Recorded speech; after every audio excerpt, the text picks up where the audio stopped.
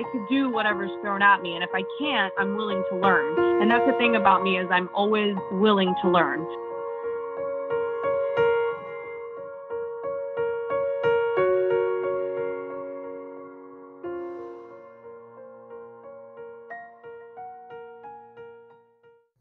Welcome to Whistlekick Martial Arts Radio, and here we are with episode 196. In this episode, we hear from Miss Caitlin Dechelle, a world champion martial arts competitor turned actress, known for her athleticism and stunt work.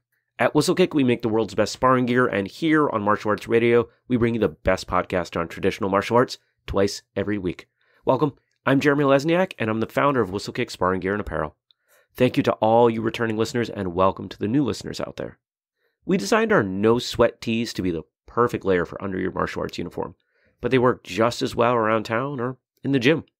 Lightweight, comfortable polyester and our never settle slogan will make this your favorite shirt. We build them to last, so you'll be wearing yours for a long time. Find them and the rest of our great stuff at whistlekick.com. When it comes to stunts and Hollywood, there are a number of names that many martial artists recognize. Most of that name recognition comes from their time on screen, though we have far fewer individuals we look to and call ours. People who share stories similar to ours, competitors, people who have trained for years, decades. Today's guest is one of those exceptions. Competing worldwide on the NASKA circuit led Miss Caitlin Dechelle to a Jackie Chan movie and ultimately a career. We get to go behind the curtain with her today and find out not only how that happened, but why it's been the realization of a dream. Miss Dechelle, welcome to Whistlekick Martial Arts Radio. Hi, thank you so much for having me. Oh, thank you for coming on the show. Been looking forward to this. As I was telling you, listeners, as I was telling Miss Dechelle, she, for quite a few months now, has been the most requested guest that we haven't managed to coordinate, but, you know, it took us a little bit of time, but we're here we are now. And I'm looking forward to learning more about so you. yeah, thank you so much. Even here, I was like the most requested next to some of the amazing people that you know you've interviewed on the show. I'm I'm so honored. So thank you, and thank you to all the fans I guess out there too who have been requesting me. It, you know it's it's cool. You are one of a of a handful that you know we get to look at as martial artists that came out of the competitive circuit. You know we know your your chops. You know we know your skills inside the ring. Uh, you know, and, and some of us have followed you for years and, and now you've made the transition. You're on the screen, you know, doing big things, headed for even bigger things, I have no doubt. But there aren't a whole lot of you that we get to look at in that way. And, and it's just great. And I think that that's why fans, have, you know, the listeners of this show have, have really taken to you. Yeah, well, thank you. I mean, it's definitely been an experience, and my my martial arts career and competing all of those years have definitely given me the opportunities that you know I do have out in the industry now. So I mean, I'm I'm greatly thankful for all of that and all the fans who do support me and do you know enjoy watching the journey because it's definitely been a fun one for me. So thank you to all of you and even you for having me. well, thank you, thank you. Uh, you. You get to put me in both of those categories. I am I am a fan as as well as the the guy on the other side of the microphone. no worries regardless of how much we've seen of you, be it you know on on YouTube or um, you know TV or movies or whatever it is, you've got a starting point, and we found that that's kind of the the best way to get started on the show is to roll back to the very beginning. How did you get going as a martial artist?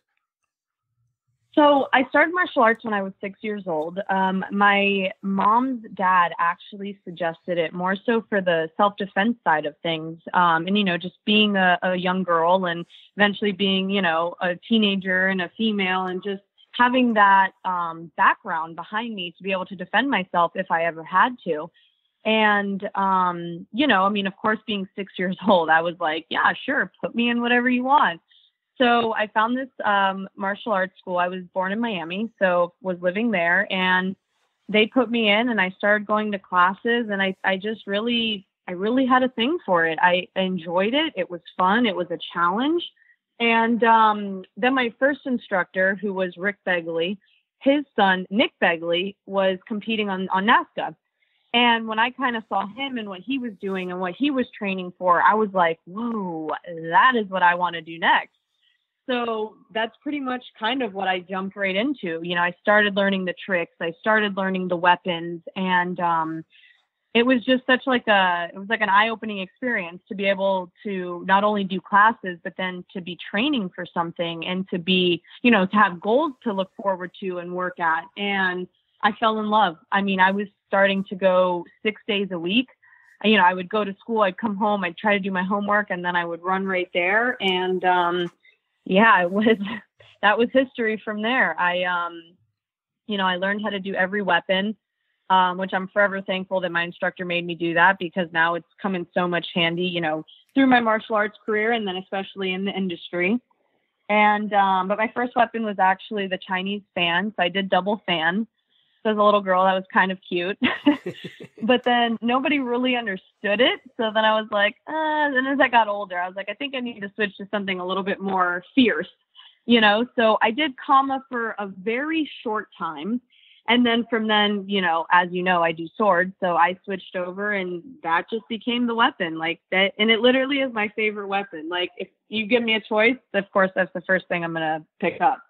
So, um, yeah, and then you know, so I trained, um, I trained in Miami primarily with him, and I give him a lot of credit to my career, and you know, to the martial artist I became. But then I also have a black belt in two other styles. So the first one was Chinese Kempo, then the second one is uh, Japanese Goju-Ryu, and then the third one is Taekwondo. So it's kind of given me like a, a little bit of a broad range and you know the different types of martial arts and what they encompass. But um, yeah, so it's that's that's pretty much where I started, and then you know into my competing career. How did you get going with Chinese Kempo and then move into Goju and, and Taekwondo? How did how did that all work? yeah so the transition between all the black belts was just actually other you know friends who owned schools in different places i went and trained um, my first instructor had eventually ended up um, kind of closing down his school you know he was having some issues here and there and i was like well i need somewhere to train so um, i had found this goju school which was a, another girl that i used to compete against uh, jenny espina and kind of just started training there. And then I was like, well, if I'm going to train here, like, I don't want to feel like the odd man out. I was like, let me learn. Let, let me learn the forms. Let me learn the style. And then by that point, I mean, you might as well test, you know, and I was, I was there five, six days a week as well. So, you know, you want to be a part of the family and the structure and not just always feel like, oh, well, you were too cool for school to like come in and be a part of us. So yeah, so that was how I ended up with that. And then for Taekwondo is actually through the ATA.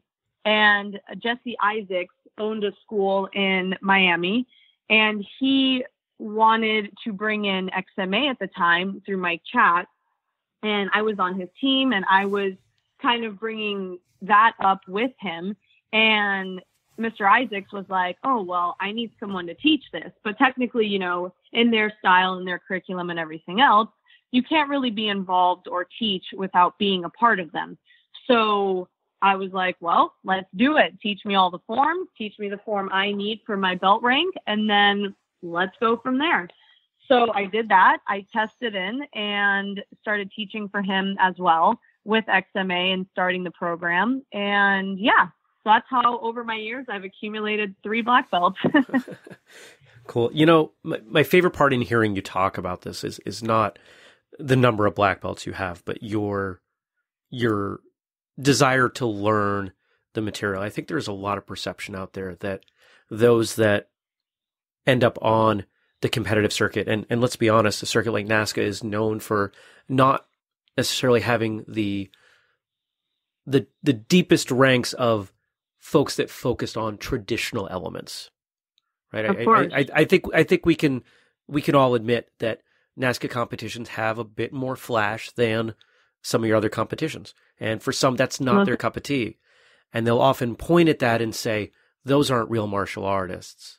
And listeners and, and anybody out there that is critical of that, I, I just want you to roll back and listen to the last 10 minutes and the, the parts where you're saying, I want to learn the forms. I don't want to just be here to train. I want to do it right.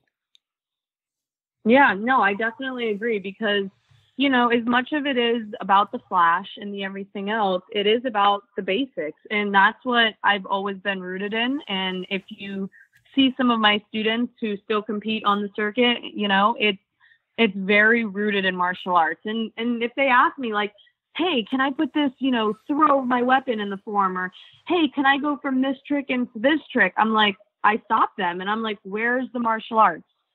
Please, please tell me you're not in a trick circle or a trick session. You're in a form. This is a fight.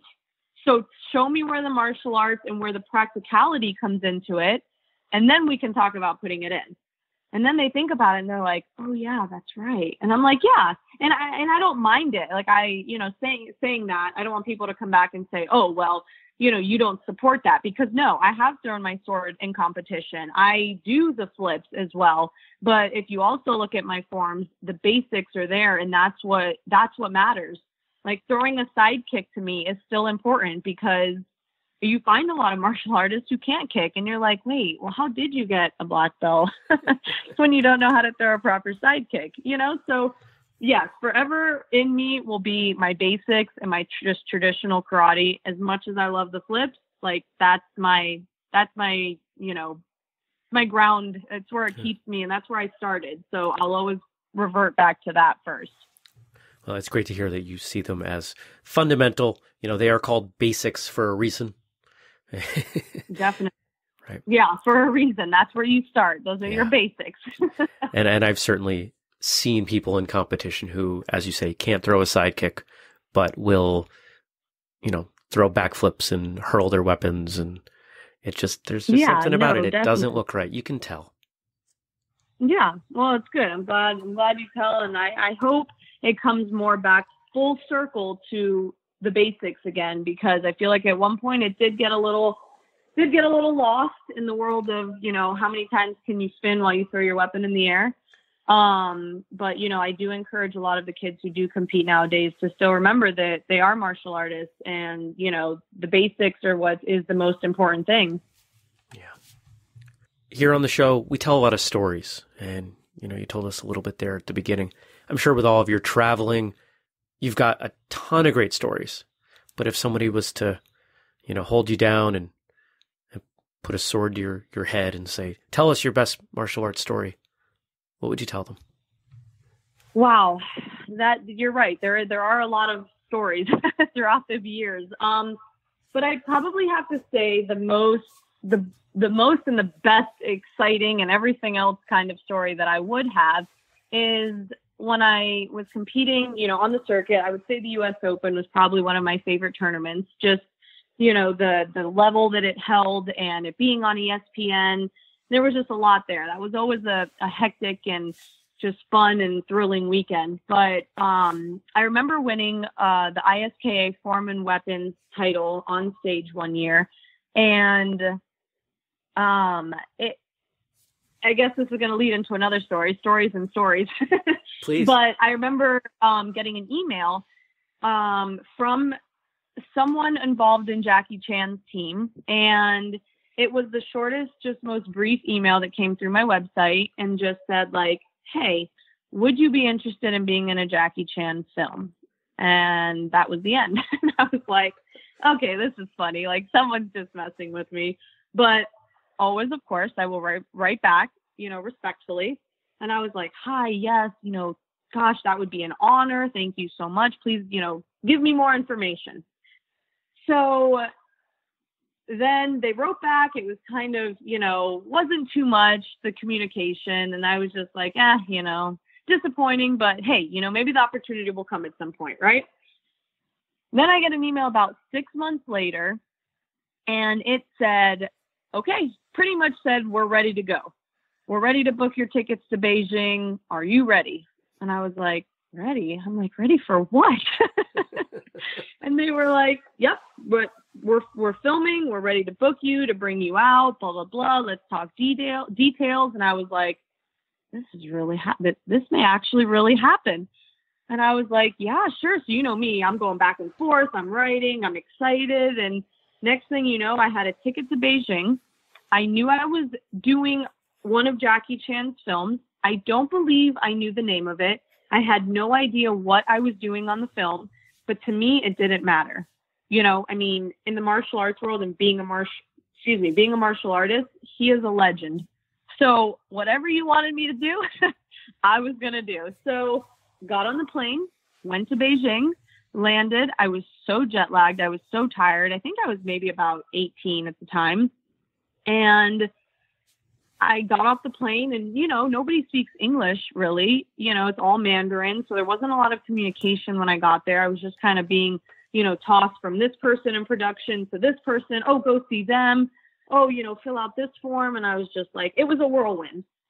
So went to sleep that night and I was like, wow, I have no idea what to expect tomorrow. And I got to set. I got into hair and makeup First day, again, still have no idea what I'm doing. And Jackie walks in the room and he just like looks over at me, half asleep. It's like five o'clock in the morning. And he's like, he looks over at me and he, you know, puts his hand out and says, Hi, I'm Jackie Chan. I was like, I was like, hello, sir. yes, I know who you are. Very nice to meet you. He sat there next to me and um, we just got hair and makeup done. And then someone hands me a script and they're like, all right, you ready? And I was like, er, uh, um, ready for what? They're like, oh, we have lines. We, um, here's your character. And I was like, character? I was like, whoa, I have a character in a Jackie Chan film? Okay. so my first day on set was shooting dialogue with Jackie Chan. then I later came to find out I had my own fight scene against, you know, his girl counterpart because I was, I guess, quote unquote bad, even though, you know, there's never anyone necessarily bad in a Jackie Chan film. But I wasn't on his side, let's just say. And um, yeah, so then I ended up, you know, having dialogue with him in the film and ended up having, you know, my own fight scene. So I definitely think, you know, saying it being my, you know, best martial arts story, I would say it would definitely have to be that because he found me by watching that ESPN show. He said that he, and he told me the story himself because he asked me, he was like, I, I asked him, how did you find me? Like, uh, how did that even come about? And he was like, I was sitting in the United States just watching some TV one day and martial arts came on the TV. So of course he stopped. And he and I came up on screen. He watched my performance, but he missed my name. So he was like, How am I gonna find this girl? So he kept sitting there and watching and watching. And then, of course, I came up again and he snapped. He was sitting there, he said, in front of the TV with his phone, just waiting. And he said, when my name came up, he took a picture, he sent it to his producers and said, find this girl. So that would probably have to be wow. my greatest martial arts story ever. Um, I, I'm wondering because I'm trying to put myself in your place there. Did did you have a moment, you know, where, where you just said it's all downhill from here? Because that just um. seems, you know, to to have have Jackie Chan reach out to you just because he was that impressed with you, and for them to have so much confidence in you and your abilities that they don't even feed you your lines ahead of time. They don't even tell you your role they just say, come on out because they, I'm assuming they believed you could do it.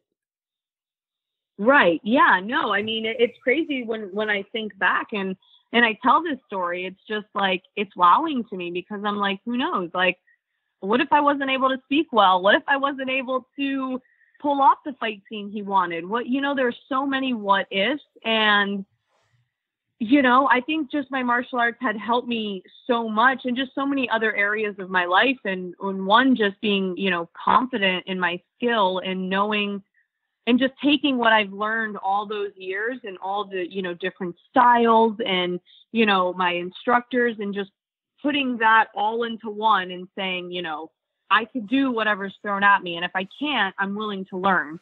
And that's the thing about me is I'm always willing to learn you know, I don't think I know everything. I don't think I'm, you know, some huge master who never needs to be told anything. Like I will always try to take a tip here and there from somebody because I feel like if you do that, you just learn so much more and then you're so much better off prepared for when you are thrown into a situation like this when you don't know what you're necessarily going to be doing, but you find a way to make it work and, you know, to push through it.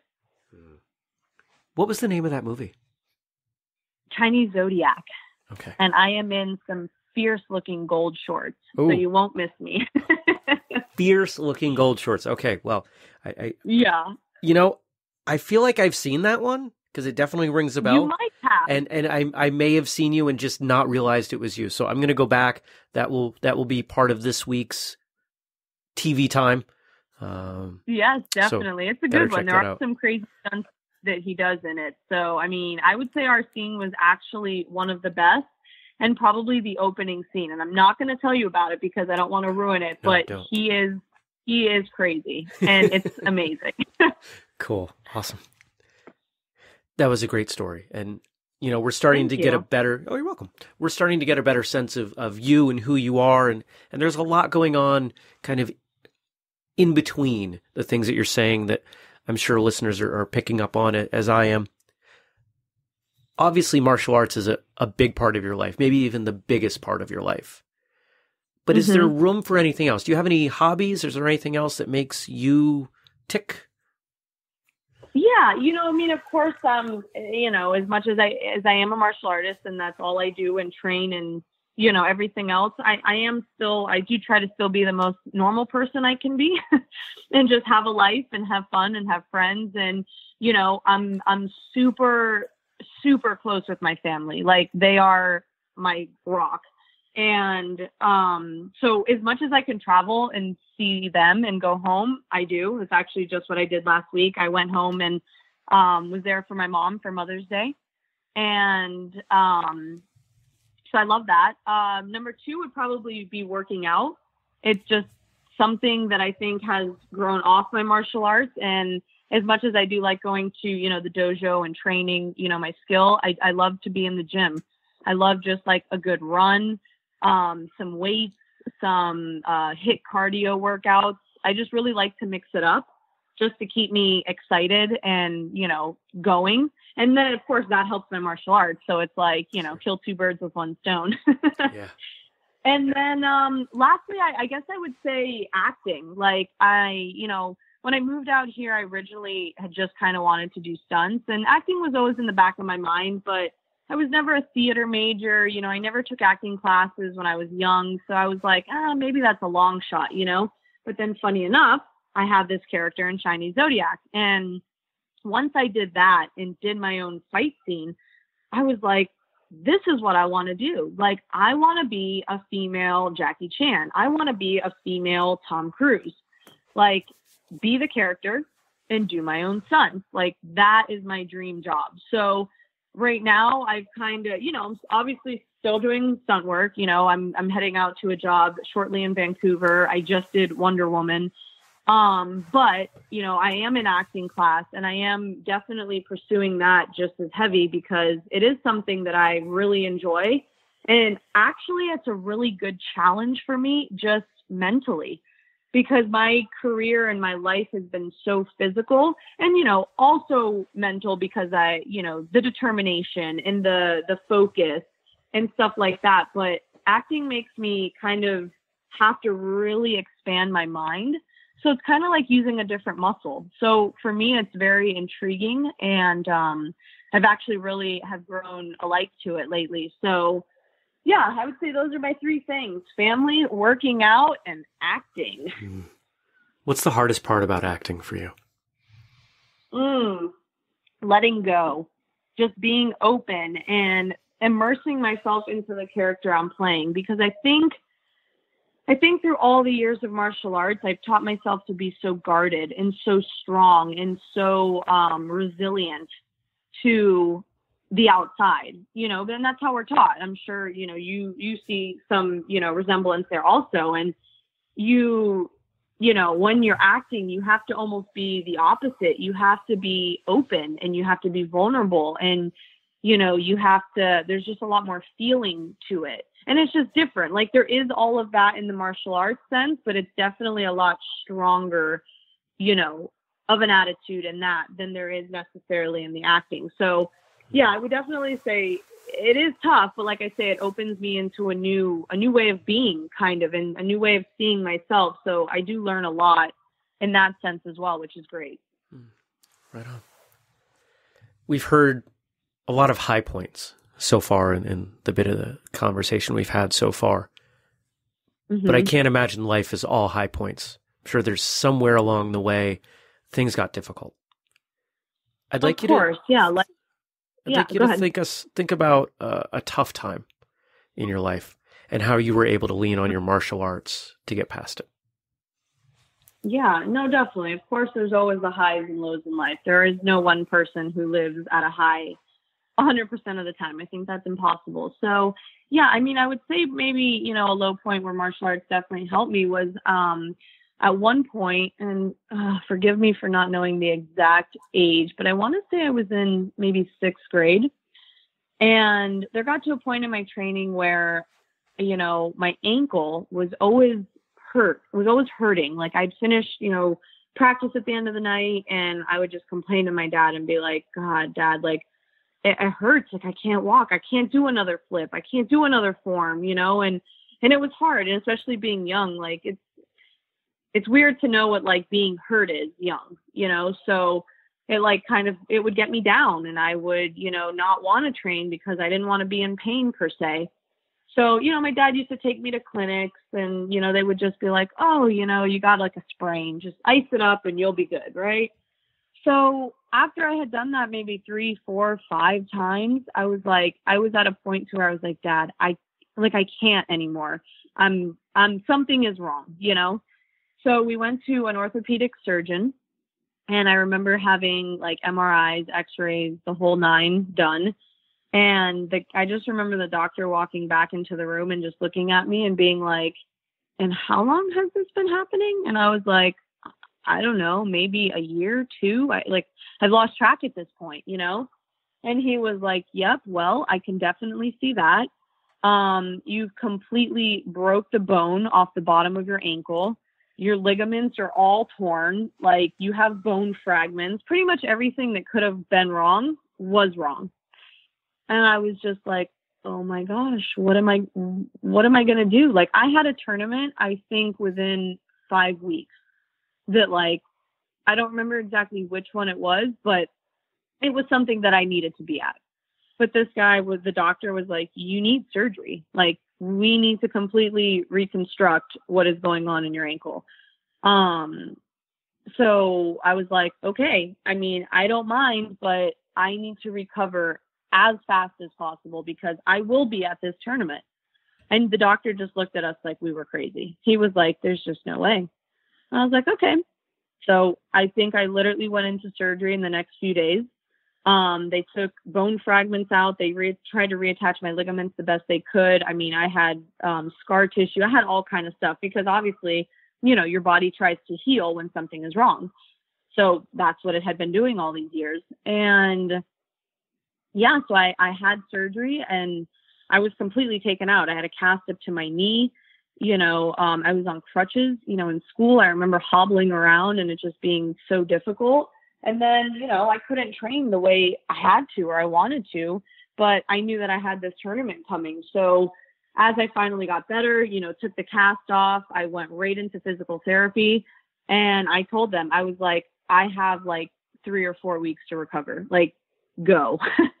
do whatever you need to do, make me do whatever exercises I need to do. I need to be as close to 100% as I can.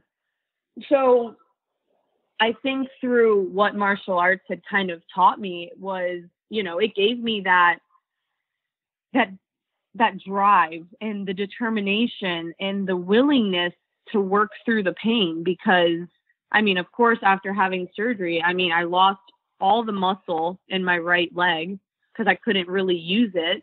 Um, you know, so imagine having one completely strong, healthy leg and then one not so great leg. And, you know, I, I land a lot of tricks on my right foot, my 540, my gainer, all the tricks that I was primarily doing at that time as a kid, I had lost that, that muscle. So, um, yeah, so I think just, you know, once I finally started going through therapy again, I was training again. And, you know, I think I just, through what I had been through in the past in my training, it gave me just the confidence to, to get back into it and push through it and know that I had this tournament coming and I had no choice. You know, I had to put my mind to it. I had to prepare. you know, the best that I could and and and go win. you know, like have that willingness to even though I know I'm maybe not at a hundred percent, still get as close as I can and just and be ready. So I did. I competed um, at that tournament four weeks later with an ankle brace. So if you ever see pictures of me as a kid wearing an ankle brace, now everyone knows that story. I had full reconstructive surgery and got up on stage and competed anyway. So yeah, I was I would definitely say that was one of the the lower, harder points of my career at one at you know at one time in my life. Have you reflected on the idea that you you completely sheared the bottom part of your ankle? And you were still yeah, not know. only just moving around, but active and and doing things that most people can't do with all of their bones intact. I mean, did because yeah. that, that's the part that struck me as you're telling that story. you know what? It's funny is that like I've learned to deal with pain, which is a good thing, but a bad thing because obviously, like you say, you're like, um, wow, Caitlin, that's actually really not normal. Like something's wrong with you.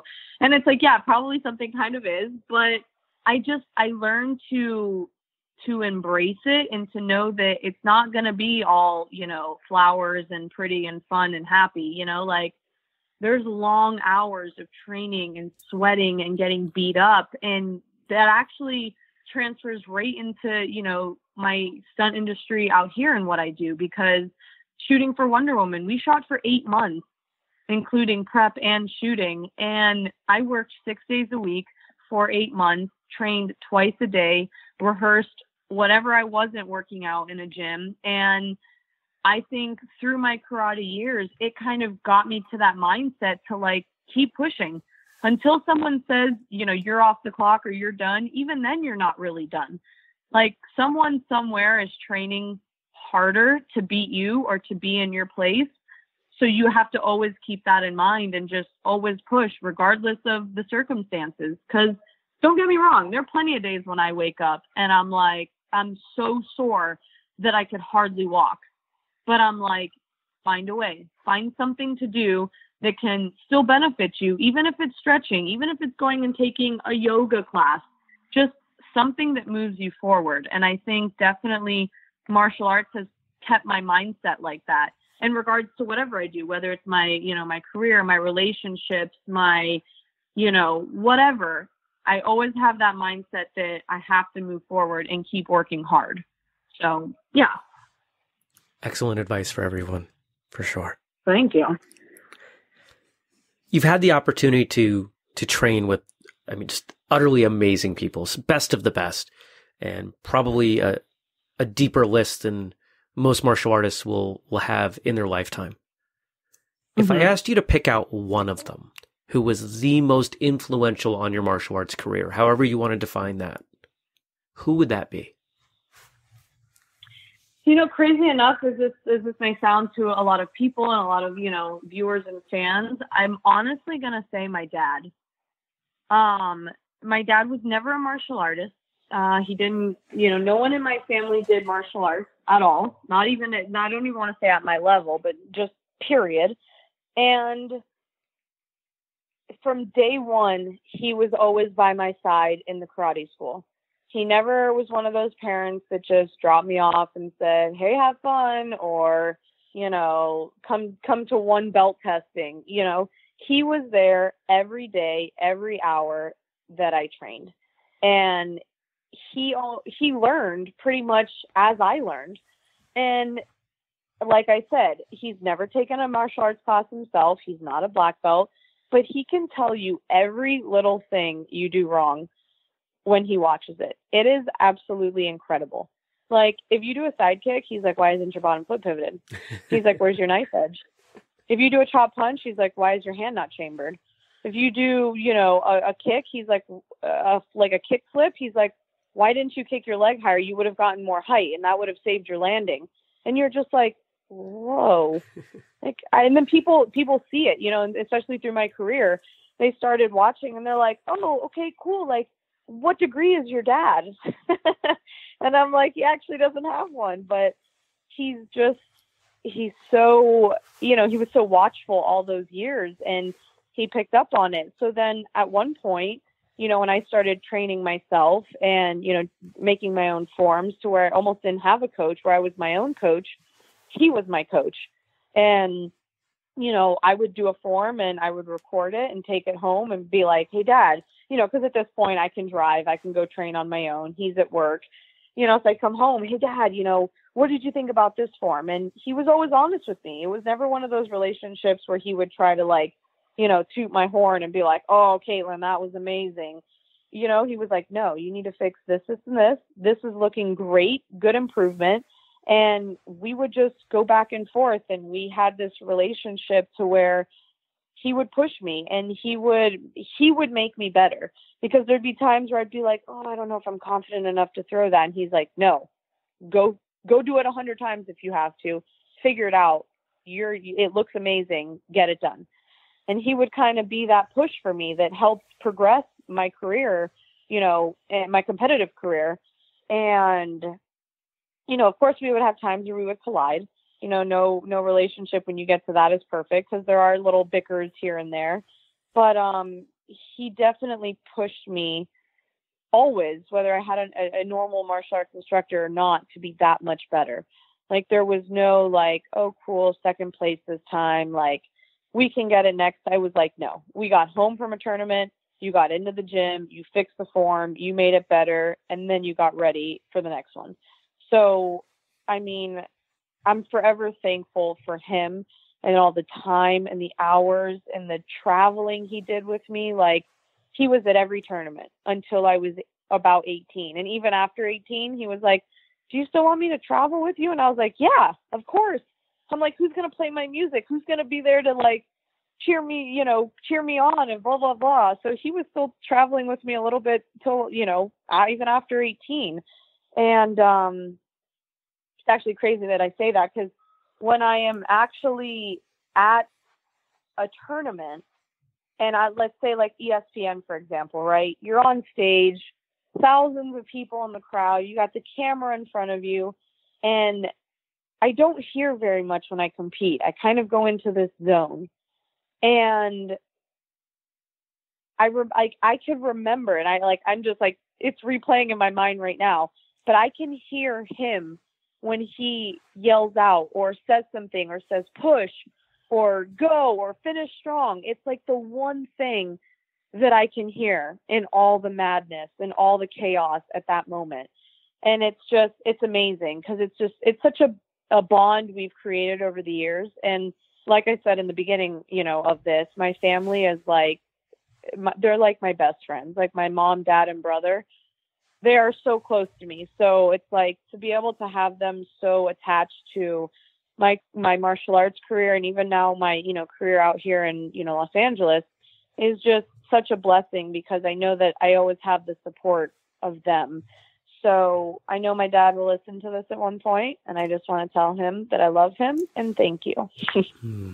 Well, shout out to your dad and all the martial arts parents yeah. out there. I you know, my, my, mom did the same things for me that your dad did for you. She was she was my coach, and and it's yeah, it's it takes a, a, special parent to push their kid in in the right way and, and set them up for success. And clearly, your dad did that for you, so that's awesome. And and for everybody out there listening that either has a kid that they're pushing in that way or or somebody that was pushed in that way, you know, recognize that special bond and, and make sure you you say thank you.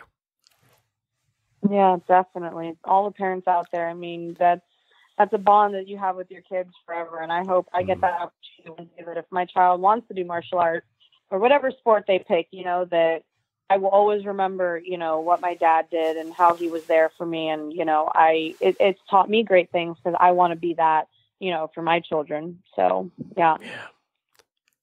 Now, if you had the chance to train with someone that you haven't, from anywhere in time, anywhere in the world, any martial art, who would you want to train with?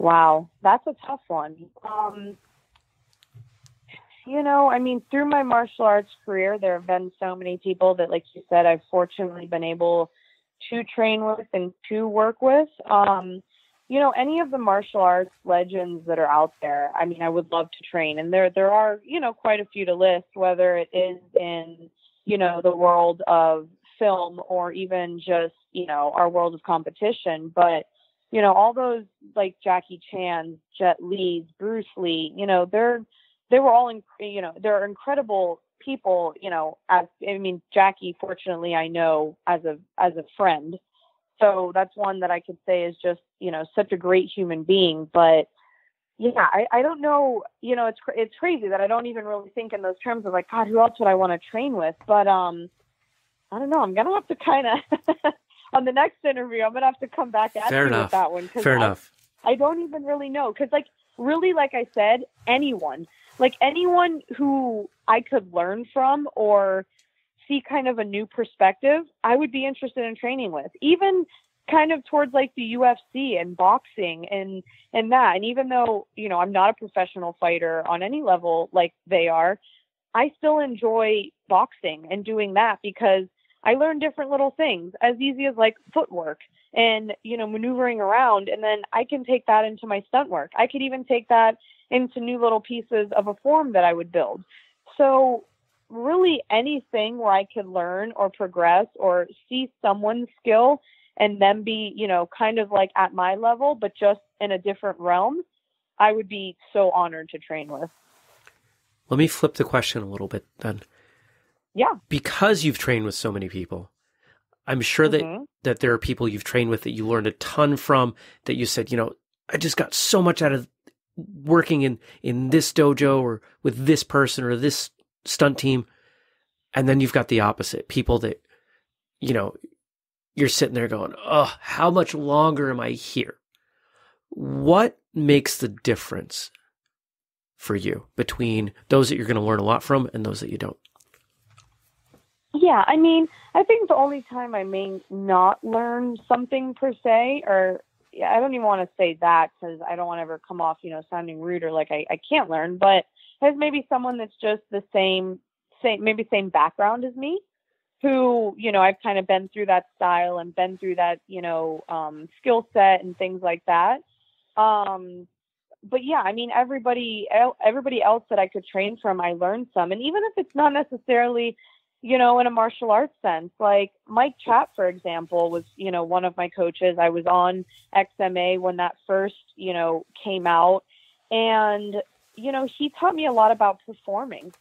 And I had already kind of established my, you know, martial arts and where I was at. And as, as always, I was a kid. There was lots to learn, but he really propelled me in the way I performed and the way the music resonated with the form and how that just sold my performance so much more. So I think even if it's not necessarily in a uh, karate, you know, form, martial arts type thing, it could be in a mindset type thing, or, you know, as I just said, Mike Chat and the performance side.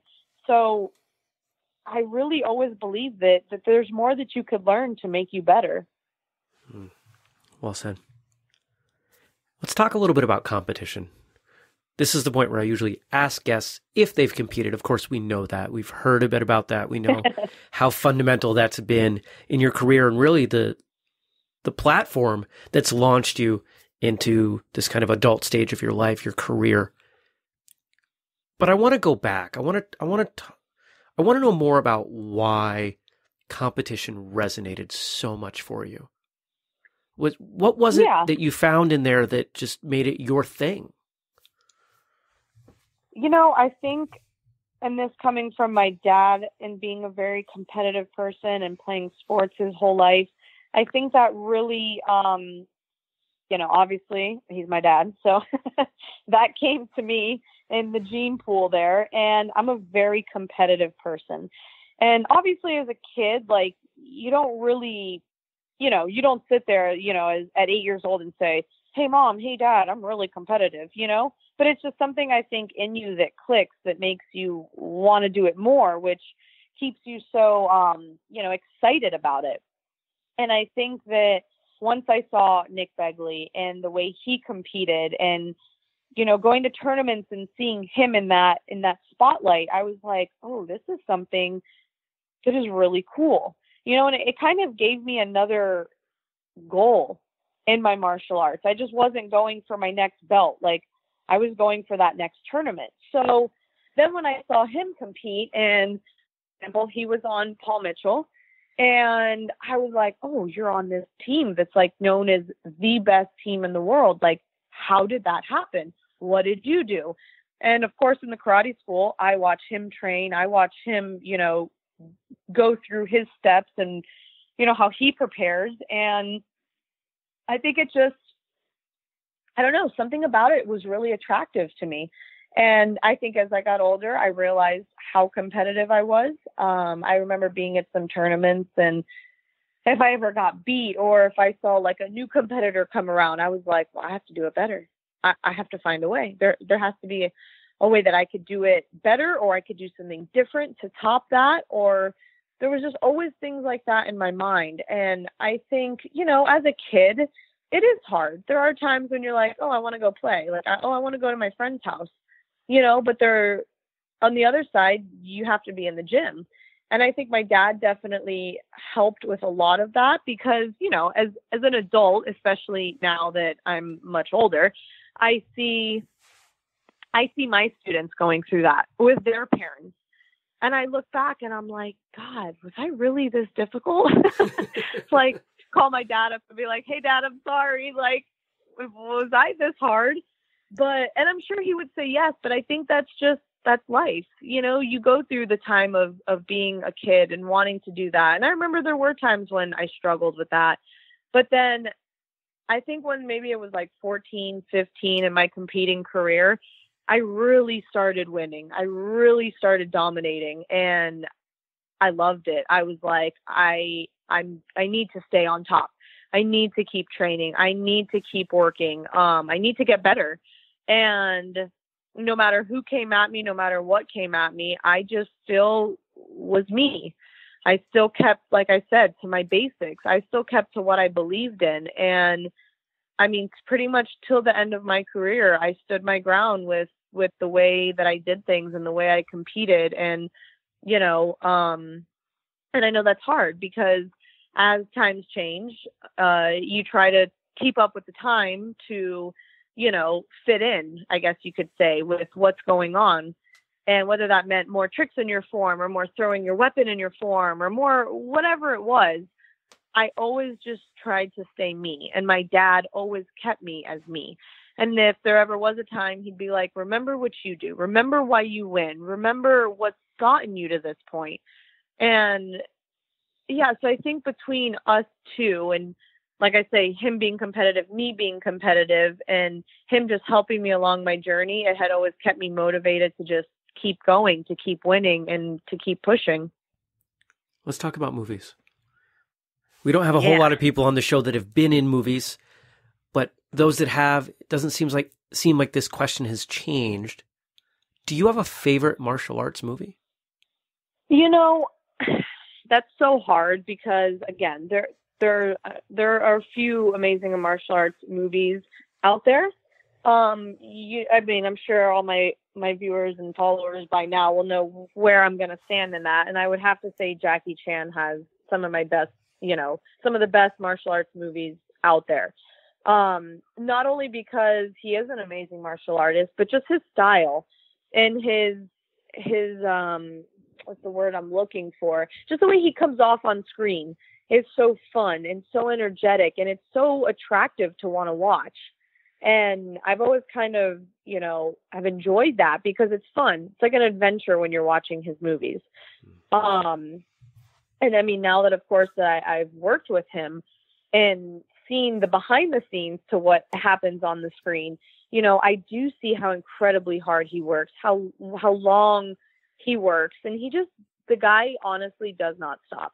And I admire him so much for that. And that's why sometimes when I'm having a crazy day and I'm like I'm like, just think about Jackie. Think about seeing the days that we were on set and he didn't even have time to eat and you know, he's running trying to do this and trying to help this person and you know, it's it was incredible to watch.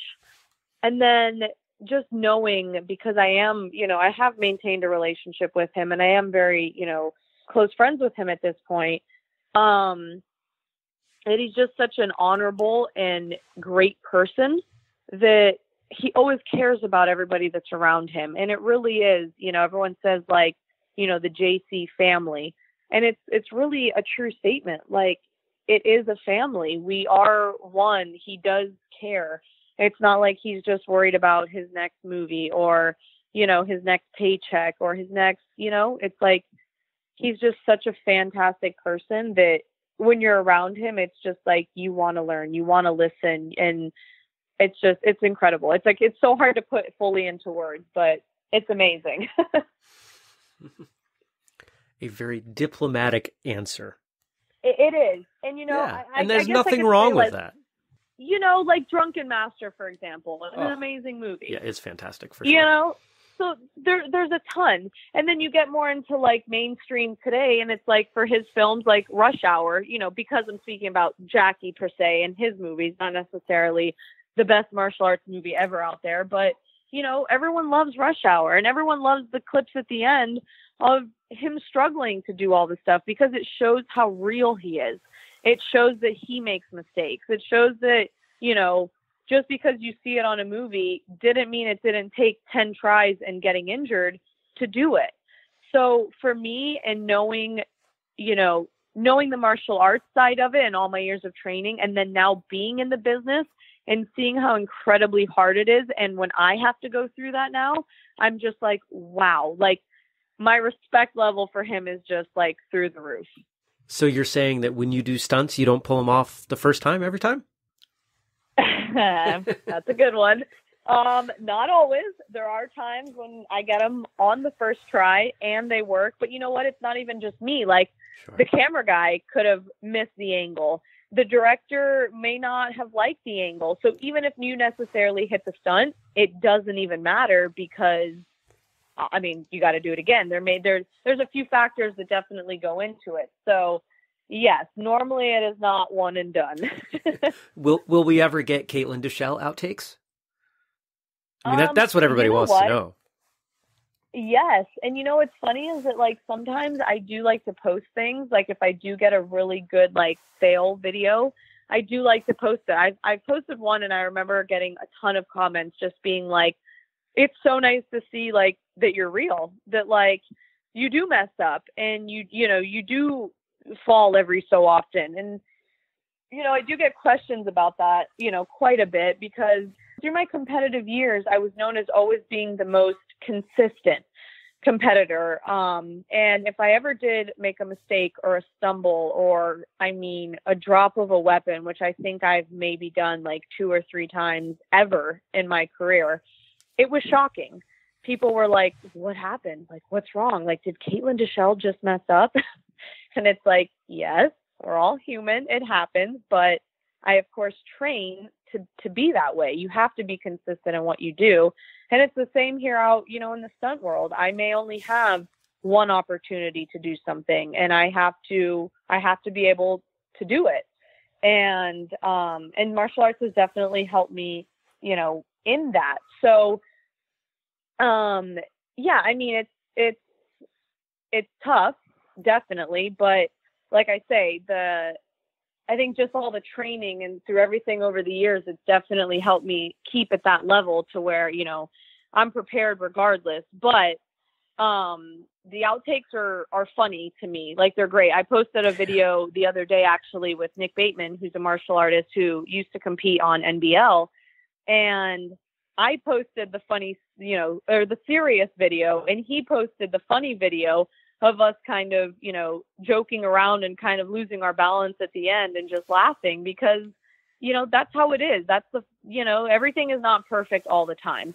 And it's hard now, especially with social media, that the only thing that's ever put out there is, is the perfect stuff. And everyone, you know, thinks that you're this perfect, you know, not flawed human being when that's not the case at all. Like we all have our imperfections. We all have our, you know, insecurities. And so that does exist. And I do like to show that to my fans that I do have that as well. Mm. And and I think that that's an admirable stance. We're seeing more and more that younger folks are coming up, people that have only known life with social media, only being exposed to these internet perfect individuals, you know, whether they be male or female, whether we're looking at models or actors or musicians and not seeing that there is another side of life, you know, a, a dirty, gritty, imperfect side. And I think it's great mm-hmm. that you're willing to share that side of who you are because that's all of us, whether we show it or not.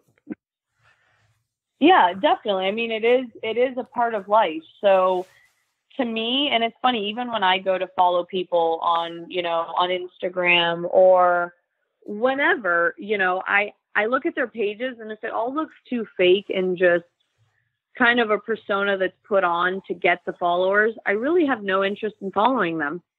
Like I'd rather see someone sweating in a gym and you know what they eat and what they you know because then again for me i'm learning i'm like oh cool maybe i could incorporate that into my training or you know i could do this or that or you know whatever the case may be but it shows that they're real not just edited and touched up in photoshop and you know put on the internet somewhere mm.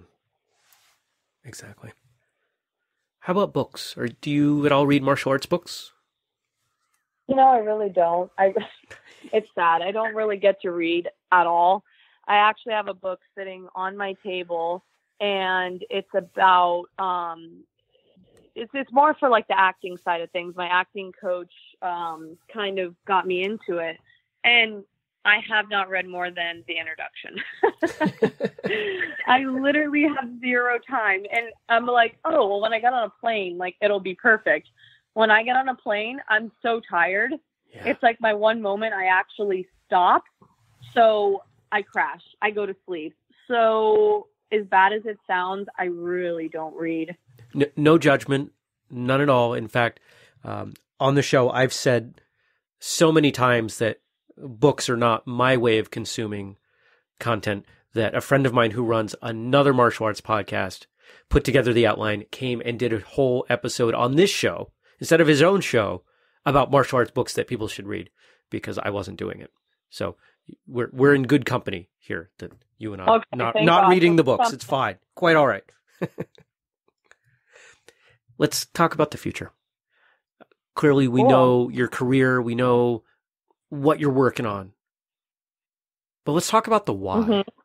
What are your goals? What are you striving for? All right. This is, this is a loaded one. Um, you know, I'm always striving for something, whether it's in, you know, the stunt career, my acting career. Um, and, and I'm always striving to do something to try to push forward. That's just how I am. Like, I can't just sit and just be like content with what I have, which I know may sound bad or, or wrong. Uh, not that I'm not thankful or blessed, but to me, there always has to be something you're pushing for next. So, I mean, in my stunt career, of course, right now, you know, I just finished, um, I guess I didn't just finish, but now that it's finally going to come out, I doubled Wonder Woman and, you know, I would, I would be honored to double her again. As much as I am trying to act and push that career forward, you know, being a female and being a martial artist and, being a part of this film with with this group of women being Gal as Wonder Woman, Patty Jenkins as our director, and it just being such a, a feminist type film, it's amazing because I push for that all the time, especially in my in in martial arts. You know, there were so many times when I was told like, you can't win or you can't do that as good as the boys, and I was like, huh, yeah, that's funny. Watch me. And that's kind of the mentality I started getting. Like, I have to be just as good as the guys. So that made me train harder. And, and even now when I, when I see some of my girl students and they're like, I can't do that. I can't like, how am I going to beat the boys? I'm like, never say can't, first of all, because I've beaten the boys, I've beaten the men, and I have titles that a lot of them don't have and will never have. And I love to use that to inspire, you know, girls to to get to that level and to be at their highest potential because there's some incredible talent out there. And to ever hear that, I'm just like, no, like stop. That's the last time I want to hear those words come out of your mouth because you can do it. So um, so you know, back to like my ind- the industry and my career, um, you know, I I do want to take what I've done even further, and like I said, be an uh, be an action actress and do my own stunts and show that you know I can get to that level, and I could, you know, and it's a challenge for me. It is a it's a huge challenge, and um, it really gives me something to work for on all levels. You know, my martial arts, my stunt have to be at such a high level. And then I have to get my acting to as high of a level. And so it's always giving me something to work on and progress, which I love because it keeps me busy. And I love to be busy. When my mom listens to this, she'll know because she's like, you need to relax. and of course, you know, she's always trying to encourage me to do more and more. And like I say, they're fantastic, but at some points they're like, you need to stop for a minute. And I'm just, I don't. I'm nonstop. I'm constantly going, doing something. Um, yeah. So I would say mostly just, you know, I love, you know, the whole the acting side of the world. I love the stunt side of the world, and I still teach quite a bit. You know, like I said, I do have some students who still compete, so I teach privately um, most of the time. I have actually, you know, actors that I train out here now who are in the business and want to, you know, maybe doing another, you know, film that requires them to be active or to have a fight scene. And they're like, "Hey, Caitlin, like, I need your help. Can can you help me? Can you train me?" So um, I still love doing that. I, I will always give back to the martial arts and you know, to the people who have taught me to be like this, you know, because I know somewhere out there someone's looking up to me saying, "Oh, I want to do what she does." How, you know, and and I know that's how I was as a kid. There were, you know, people that I looked up to and watching my instructor's son and you know, there's always someone that kind of moves you forward or pushes you or gives you that little bit of extra confidence. So if I ever can be, I always try to be that, whether it's for, you know, a girl, a boy, a, a woman, a man. Like I, I try to be as inspirational and as you know helpful and giving as I can be. So that's that's just truly what I enjoy. Enjoy. Let's. I'm going to scratch this. Just thinking of a transition. Mm, okay. All of that sounds great, and it's it's really cool to see how you know you're just you're you're charging forward. You're not sitting back on your laurels, as people say and you know that's that's what served you all the way up through now for sure you know all, all the way up through competition so you're doing what's worked and that makes sense and i know how exhausting it can be because that's how i've always done things as well so i get it and mm-hmm. and i just i hope that if you do want to slow down if you do want to take a break that you give yourself permission to do that because that's something that so oh, few of us do definitely good I definitely know it's healthy to relax. So, you know, just going home this past week and seeing my family and just kind of, you know, obviously, of course, I'm still working out and I'm still doing things because it's always a part of me in my life and my career. But I do definitely slow down, put my phone down, just kind of check out and relax because um, I do know that that's healthy and I, I know that it's definitely needed if the people listening want to get a hold of you or find you on social media or on the web, you know, I know you're you're in a bunch of places, but let us have it. Where can people find you? Yeah, of course. So I have um, my Facebook, which is just Caitlin Dechelle. Um, I have Instagram and Twitter, which is at Caitlin Dechelle, all one word. And I pretty much, I want to say I use Instagram mostly. Um, I love pictures and I love videos and I love what it captures and I love the memories. So you'll find a lot of stuff on there of me just and not just like I say, you know, me, you know, going to a tournament or me on a set. You'll see everything. You'll see my family, you'll see my dog, you'll see you'll see me and you'll see my life, which is what I really love about it too. Um, and then I have my website, uh, CaitlinDechelle.com, which we keep pretty up to date with, you know, pictures and updates of where I'm going, you know, where you could find me, stuff like that. So yeah, pretty much those four four outlets would be great. Cool. And of course, folks, we will link all of those over on the show notes. If you're new to the show, whistlekickmartialartsradio.com is where we drop all of those. I want to thank you for your time today, and maybe you could indulge us with one last little bit. How about some parting advice for everyone listening today? the best parting advice, you know, and of course I bring this, I think, back to my martial arts is just, you know, never give up on what you're trying to do, whether, and, and that's in everything in life. I don't want to say just your career, but, you know, family, relationships, friends, um, it can be with your career. Just never give up and just always keep striving for your goals because as unobtainable as they may seem sometimes, they're just in reach and you just have to take a second, you know, sit back, see what you can do to get there and then just go after it full force and it, you can definitely do it. So just honestly never give up. I love seeing passionate people succeed, especially when they're martial artists. I have no doubt that we're only scratching the surface of what her career will become. Thank you, Ms. Dechelle, for coming on the show. Over at whistlekickmartialartsradio.com, you can find the show notes with a number of great photos, some video, links to all of her social media, and more. If you're not already a Caitlin Dechelle fan, you will be. Find us on social media. We're everywhere, including the show's Facebook group, Whistlekick Martial Arts Radio, behind the scenes. If you're not wearing a no sweat tee right now, your life is incomplete. I'm just kidding, but you really should check them out. Whistlekick.com is the place to go for those. Thanks for joining me today. Until next time, train hard, smile, and have a great day.